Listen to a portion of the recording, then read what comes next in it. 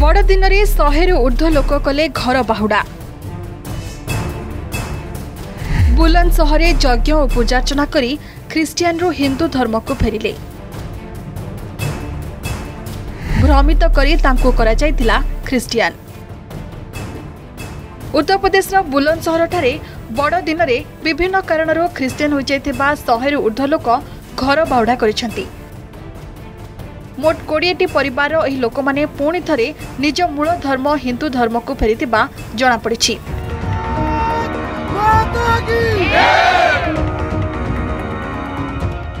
ଏହି ଲୋକମାନେ ଗରିବ ଶ୍ରେଣୀର ଓ ଦିନ ମଜୁରିଆ ଭାବେ କାମ କରି ପରିବାର ପ୍ରତିପୋଷଣ କରିଥାନ୍ତି। ଯଜ୍ଞ କରିବା ସହ ବୈଦିକ ମନ୍ତ୍ରୋଚ୍ଚାର ସହ ପୂଜାର୍ଚ୍ଚନା କରାଯିବା ସହ ସେମାନେ ସନାତନ ହିନ୍ଦୁ ଧର୍ମକୁ ପ୍ରତ୍ୟାବର୍ତ୍ତନ କରିଥିଲେ। ଏହି ଅବସରରେ ସେମାନେ ଆଗାମୀ ଭବିଷ୍ୟତରେ ସେମାନଙ୍କର ପୂର୍ବପୁରୁଷଙ୍କ ଧର୍ମ ହିନ୍ଦୁ ସନାତନ ଧର୍ମ ପରମ୍ପରାରେ ଜୀବନ ନିର୍ବାହ କରିବାକୁ ସଂକଳ୍ପ ନେଇଥିଲେ। ଏହି ଘର ଭାଉଡ଼ା କାର୍ଯ୍ୟକ୍ରମ ଖୁର୍ଜା ଅଞ୍ଚଳରେ ହୋଇଥିଲା।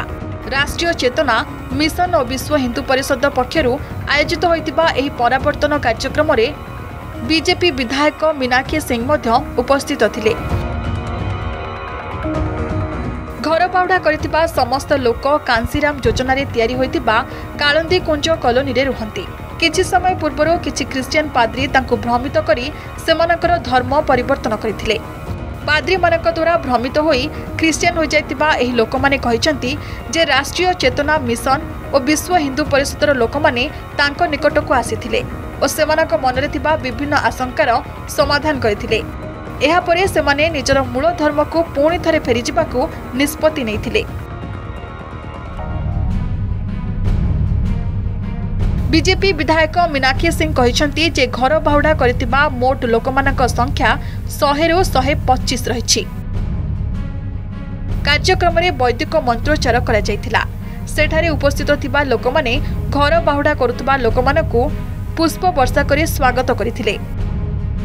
ରାଷ୍ଟ୍ରୀୟ ଚେତନା ମିଶନର ହେମନ୍ତ ସିଂ କହିଛନ୍ତି ଯେ ଧର୍ମାନ୍ତରିତ ହୋଇଯାଇଥିବା ଏହି ଲୋକମାନଙ୍କ ସହ ସେମାନେ ନିରନ୍ତର ଯୋଗାଯୋଗରେ ରହି ସେମାନଙ୍କୁ ବୁଝାଇଥିଲେ ସେମାନଙ୍କୁ ପୁଣି ଥରେ ହିନ୍ଦୁ ଧର୍ମକୁ ଆଣିବାକୁ ପ୍ରୟାସ ଜାରି ରହିଥିଲା ଅଟଳ ବିହାରୀ ବାଜପେୟୀ ଓ ପଣ୍ଡିତ ମଦନ ମୋହନ ମାଲବୀୟଙ୍କ ଜୟନ୍ତୀ ଦିନ ତାଙ୍କୁ ଘର ବାହୁଡ଼ା କରିବାକୁ ଭଲ ଲାଗିଥିଲା ତେଣୁ ଏହି ଦିନକୁ ବଛାଯାଇ ସେମାନଙ୍କର ଘର ବାହୁଡ଼ା କରାଯାଇଛି ବ୍ୟୁରୋ ରିପୋର୍ଟ ଆର୍ଗସ୍ ନ୍ୟୁଜ୍